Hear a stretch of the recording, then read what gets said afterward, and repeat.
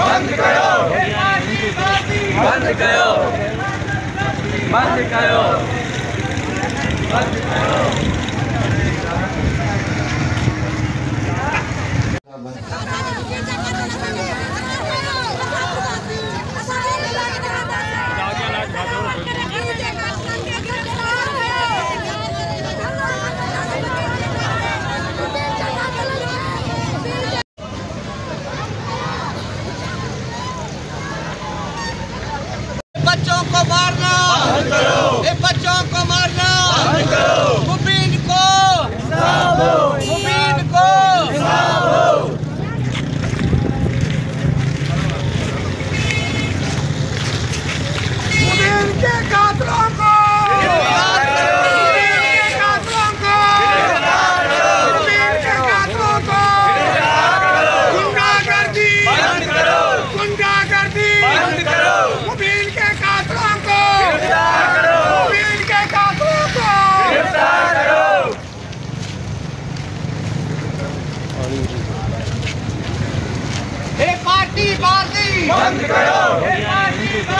बंद हे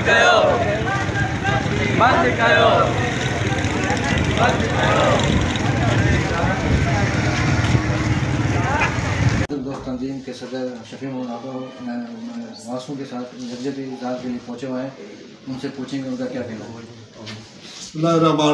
आज बहुत दुख का मकाम है एक तदरीसी अमल जहाँ होता है वहाँ पर मुबीन मुबीन को शहीद किया गया और वो उसके दिल में जो एक कारी बनने का, एक आलम बनने का शौक था, वो अपने सीने में रख के खुदा बारगाह, खुदा की बारगाह में हाजिर हो गया। इस वक्त तक बालकों को जो भी लवाई की है उसकी वालदा है, उसके दिल पे जो गुजर रही है, वो तो आप सुन रहे हैं। सवाल ये है कि इस मदरसे में जितनी भी इंतजामिया है, उसे पुलिस पकड़ नहीं रही। जो चार बंदे बालकों ने दिए हुए हैं, उनको भी इन्वेस्टिगेशन नहीं करे। वो खाना पीना आराम से बैठे हुए हैं। आईओ जो है, सुब्रो साहब और सातो साहब, वो बात करने के लिए तैयार नहीं है। इतना उनको पैसा मिला है कि वो इनकी इन्वेस्टिगेशन को सिर्फ़ स्लो चला रहे हैं, ताकि आगे चल के इसको चालान भेज दें और आसानी से ये आज़ाद हो जाए। मेरा तमाम आईजी सिंध से और ख़ास तौर पे मैडम से जो इन्वेस्टिगेशन एसएसपी साहिबा है तो आप आप भी एक औरत हैं और आप भी एक माँ की दर्द की सुन सुन सकती हैं, समझती हैं कि माँ का दर्द क्या होता है।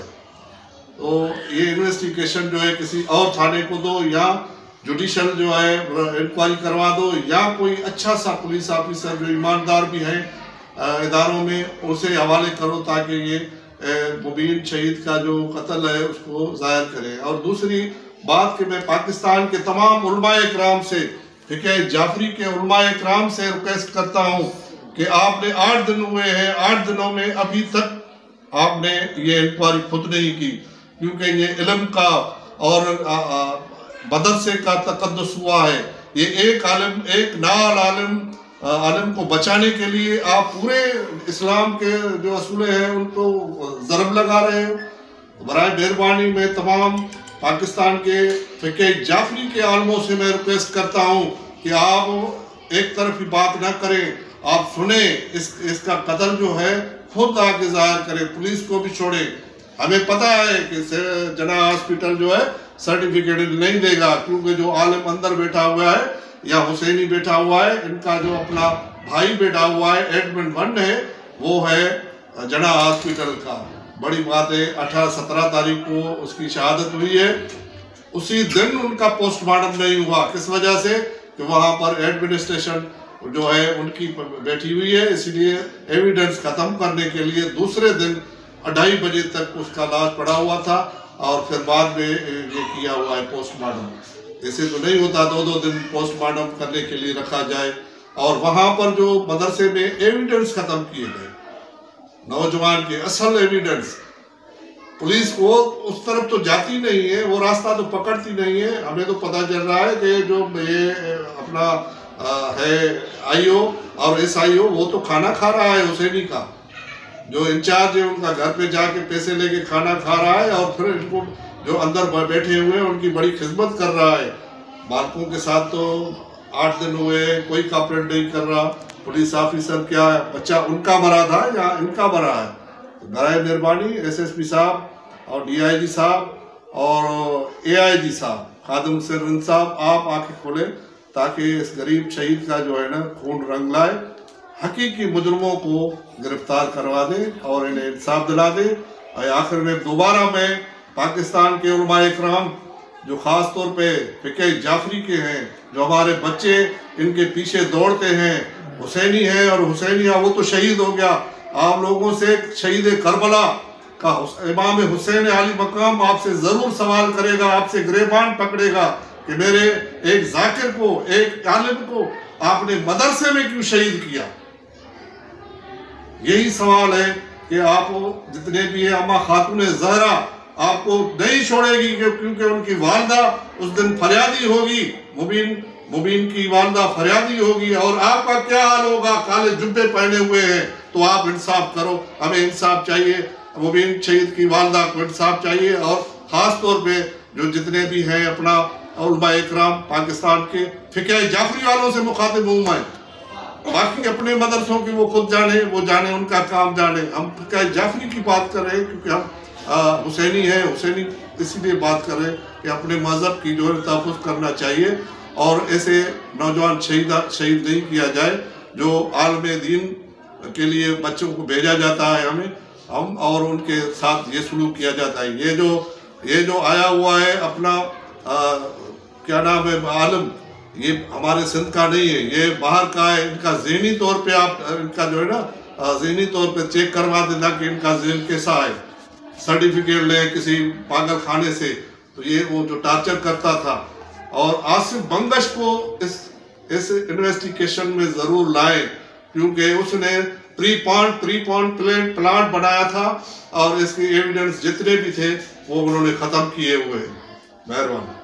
इतना वक्त गुजरने के बावजूद क्या कराम तंजीम हमदर्दी के आई कल एक अस्करिया ऑर्गेनाइजेशन का सदर जो डिस्ट्रिक्ट मलिर का आया था, उसने सुना सुनी कर दी। वो तो उनके हाथ में तो नहीं है। असल जो है, ये गिलगिती है, पूरे कराची को पकड़ के बैठे हुए हैं, गिलगित से आए हुए। तो ज़ाहिर ये उनका गिलगिती उस्ताद है, फंसा हुआ है। जना हॉस्पिटल में भी गिलगित का बैठा हुआ है, एडमिट वन। क्योंकि एडमिन वन समझो कि डायरेक्टर जनरल है। डायरेक्टर जनरल सीट पे नहीं बैठता और एडमिन वन पूरी एडमिनिस्ट्रेशन को चलाता है। जना का इसलिए हमें वहाँ भी उम्मीद नहीं है कि सर्टिफिकेट वहाँ से मिला। ना मिलेगा। बच्चे को दम घुटने के, दम घुटने के जो है मौत हुई है। उसके अलावा जिसम पे तशद किया गया है सर्टिफिकेट जो सप्लीमेंट्री सर्टिफिकेट आया, उसमें ये चीज़ें आई हैं। और ये जो उसके गले पे निशान है, ये को बारीक चीज़ से उन्होंने पकड़ा ये तीन चार बंदों का काम है। एक बंदे का नहीं, किसी ने टांगे पकड़ी है, किसी ने मुँह बंद किया है, किसी ने गला दबाया है उस रस्सी से, बारीक रस्सी से। अब वो, ये तो पुलिस ने इन्वेस्टिगेशन करे कौन कौन से बंदे मुलविस है।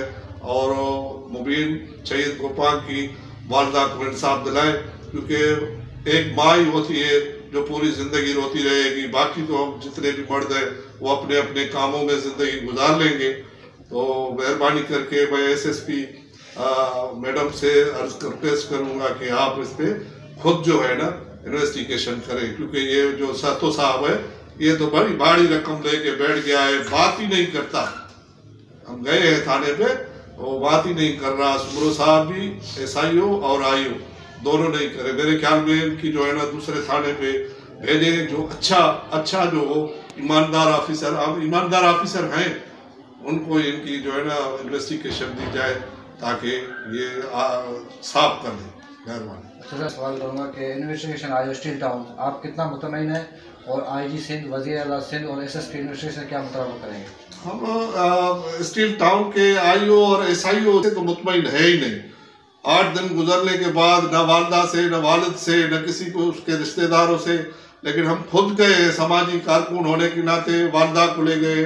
उनके वालिद को तो वहाँ मुँह मुँह सीधा करके बात नहीं कर रहा था। जैसे उसने हाथों से गला घोटा है, इसीलिए। आई जी सिंध से, वज़ीर अला सिंध से, चीफ जस्टिस से ख़ास तौर पे अभी केस चल रहा है, ज़ाहिर है जो मैडम साहिबा बैठी हुई है एसएसपी इन्वेस्टिगेशन कल नहीं तो परसों, आज तो कल जो है, छुट्टी है, परसों उनके पास भी जाएँगे। और उससे रिक्वेस्ट करेंगे कि हमें और थाने पे भेजो या किसी और ईमानदार अफसर को दो ताकि वो जो है इनकी इन्वेस्टिगेशन करें। हो सके कि किसी डीएसपी रैंक के बंदे को दे ताकि अच्छी तरह से वो इंक्वायरी करे और जो हक सच है उसको ज़ाहिर करे और मुबीन शहीद को उनका जो है ना, खून का रंग लाए और असल मुजरमों को गिरफ़्तार किया जाए। जाए। हम आज मकतूल मुबीन दोपान के घर पे मौजूद है। उनके वालदा के साथ पूछेंगे उनके क्या कहना है? मैंने मदरसे में बच्चा अपना पढ़ने के लिए आलम के लिए दिया था। मुझे नहीं पता था मेरा बच्चा ये ऐसे ही शहीद किया जाएगा बेदर्दी से कत्ल किया जाएगा। कुछ दिन पहले मेरे बच्चे ने मुझसे बोला कि अम्मी कुछ लड़के हैं जो मुझसे जलिस होते हैं। मैंने कहा बेटा क्यों? कि अभी मैं मदरसे सारे मदरसे में मैं फ़र्स्ट आता हूँ। खुश होके बताता। वो वॉइस का रिकॉर्ड भी मेरे पास पड़ा। मैं खुश होके बोलता था कि अम्मी, सारे लड़के, कुछ लड़के ऐसे हैं जो लगभग मेरे नंबर उठाते हैं और सबसे ज़्यादा मैं फ़र्स्ट आता अब वो तो कतल, बेटा तो चला गया। अब जिन्होंने मारा है, उनको पता कि किस वजह से मेरे बच्चे को मारा है। मौलवी साहब भी तवज्जो नहीं करते थे। काफ़ी एक दो बार फ़ोनों पे मैंने लड़कों को बोला, मौलवी साहब से मैंने शिकायत की। मैंने कहा, मौलवी साहब, आप तवज्जो किया करें। वो मेरे बच्चे की बात नहीं सुनता था मौलवी। मैंने कहा, चलो मौलवी, सख्त होगा, मुझे क्या पता? या थोड़ा बहुत ये जेलस वगैरह, ये तो होता रहता है लड़कों में। मुझे नहीं पता था कि मेरा ऐसा पठान बेटा, मेरा मासूम, मेरा होशियार बेटा ऐसे कत्ल करेंगे ऐसे जालिम और यजीज। मुझे नहीं पता था कि मदरसे में ऐसे यजीज बैठे हुए तो मैं अपना मदरसे से बच्चा अपना खींच के लेके आती। मुझे इंसाफ चाहिए। मेरा बच्चा तो गया अभी सारी ज़िंदगी रोऊँगी। बच्चा नहीं आएगा वापस। अच्छा हम आपके साथ इन्वेस्टिगेशन में क्या तावन कर रहे या नहीं कर? रहे पुलिस तो कुछ भी काबर नहीं कर। रही कुछ भी। मैं खुद गई थी। मैं खुद गई थी। लेकिन उनको ये माँ का दर्द नज़र नहीं आ रहा। ये माँ के आँसू नज़र नहीं आ रहे उनको। उनको अपना पैसा खाना है। उनको अपना पैसा खाना है वो पैसा उनका कारोबार वो किसी को हक नहीं दिलाते। मुझे कोई मदद, कोई भी कुछ भी नहीं मिली। आप लोगों से गुजारिश है, मुझे मुझे इंसाफ दिलाए। मेरे बच्चे को इंसाफ दिलाए। एक माँ की अपील, एक माँ की इल्तजा कि मेरा बच्चा मेरी जिगर का टुकड़ा मेरे दिल से निकाल के जुदा किया है मेरा बच्चा। होशियार था मैट्रिक में टीसीएफ के रिज़ल्ट पढ़े मदरसे का रिज़ल्ट पढ़ा मैं। हर चीज़ ए ग्रेड आता था फ़र्स्ट आता था। मेरे पढ़ाई मेरे बच्चे की दुश्मन बन गई अच्छा सिंध सिंध और इन्वेस्टिगेशन एस एस मलिक से आप क्या मुतालबा करना चाहते हैं। उनसे यही है कि एक माँ की इल्तजा सुने भरपूर तावन करे। सारी ज़िंदगी दुआएँ करें मेरे बच्चों को इंसाफ दिलाए। बस एक माँ की इल्तजा है माँ हाथ जोड़ के अपील करती है। कि मेरी मदद करे मेरी मेरा तावन करे। एक माँ का तावन करे एक माँ की दुआ ले। मकतूल मुबीन गोपा के वालिद साहब के साथ मौजूद है। जहाँ मदरसे में मुकदस गाह वहाँ कत्ल कत्ल गाह बन जाए। जहाँ बच्चे आलम और जाकिर बनते हैं वहाँ उनके बच्चों को लाश मिला। उनके वालिद का क्या कहना है उनके मरीज़ पूछते हैं? जी। मेरे बेटे बेटे को ऊपर तशद करके उसको शहीद किया मुझे इंसाफ चाहिए मुझे सिंध से हुकूमत से मुझे इंसाफ चाहिए मेरी पुकार सुनो मैं एक बाप हूँ। मेरी पुकार सुनो उन लोगों ने मेरे बच्चे को शहीद किया गया है। उसका इंसाफ चाहिए। कोई पुलिस जाँच नहीं ले रही है। कोई इन्वेस्टिगेशन नहीं कर रहे हैं। मेरी कोई फरियाद नहीं सुन रहे हैं। वो अरबपति हैं। उनके पाँव जेब बहुत हैं बड़े हैं। मैं गरीब हूँ, मजदूर हूँ, मेरा इंसाफ।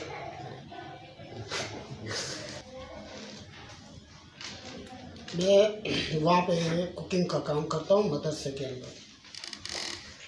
तो तकरीबन डेढ़ बजे मैं बच्चे से मिला हूँ वहाँ पे जाके। तो रोटियों के सिलसिले में कुछ बच्चे छुट्टी गए थे।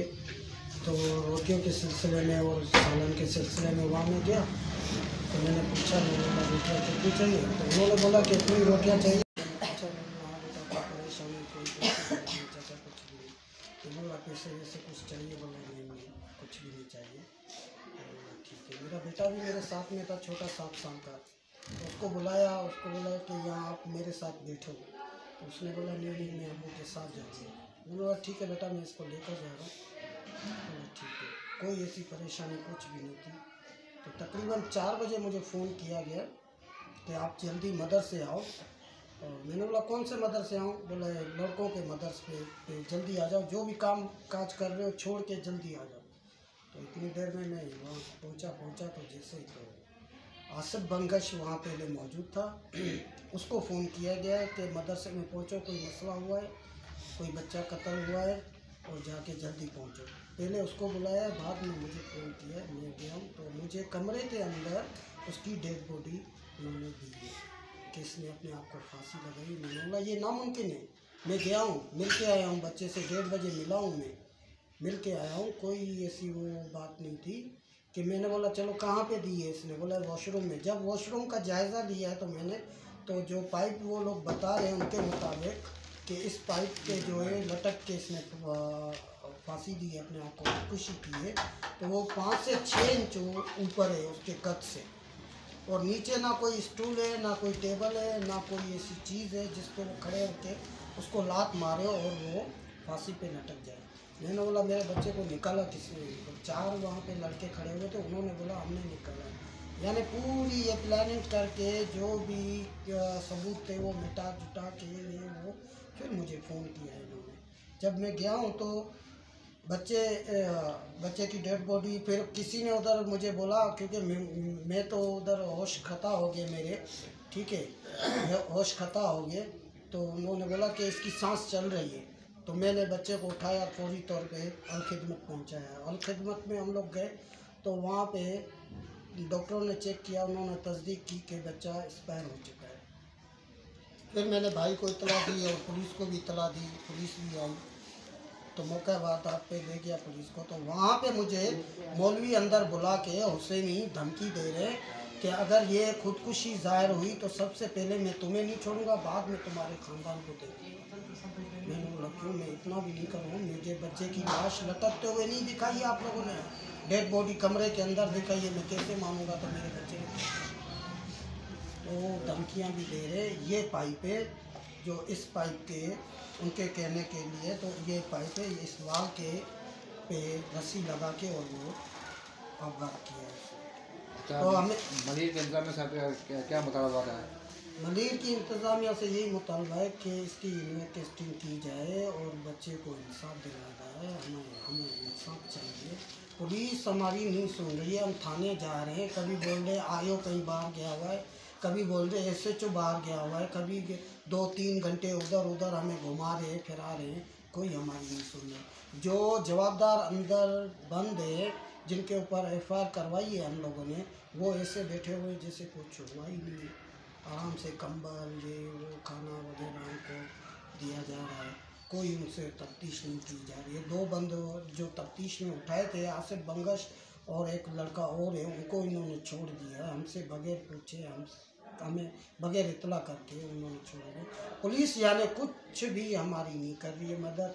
उल्टा हम जा रहे हैं तो बोल रहे आयो बाहर गया हुआ है एस एच ओ बाहर गया हुआ है, इधर गया हुआ है, उधर घुमा रहे हमें, उधर घुमा रहे कोई हमारी नहीं कर रहा हमें हमें इंसाफ चाहिए मलिर के जितने भी इंतज़ामिया है हुकूमत है, उनको हमारी गुजारिश है कि हमें इंसाफ चाहिए, हमें इंसाफ अमन आबादी है या ये लोग बहुत ही पुरअमन लोग हैं।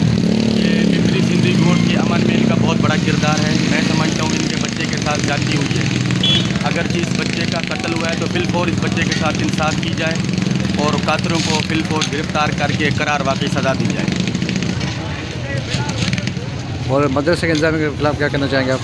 मदरसे की इंतज़ामिया अगर इस कत्ल में मुलविस है तो हमारी जो है आला हुकाम है तहकीकती इदारे हैं ख़ासतौर पुलिस से हमारी गुजारिश है कि वो जो भी जो भी मुलविस हैं इस बच्चे के कत्ल में उनको गिरफ़्तार करके करार वाकी सज़ा दी जाए।